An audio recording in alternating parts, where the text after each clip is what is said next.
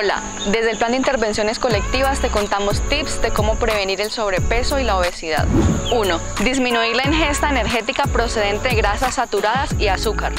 2. Implementar una dieta equilibrada, adecuada, suficiente y completa.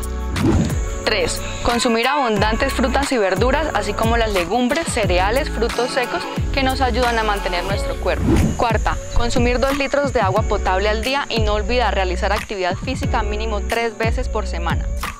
Los hábitos alimenticios previenen enfermedades crónicas y no transmisibles, como enfermedades cardíacas, diabetes, sobrepeso, obesidad y entre otras. No. No. Recuerda, cuidarnos es deber de todos.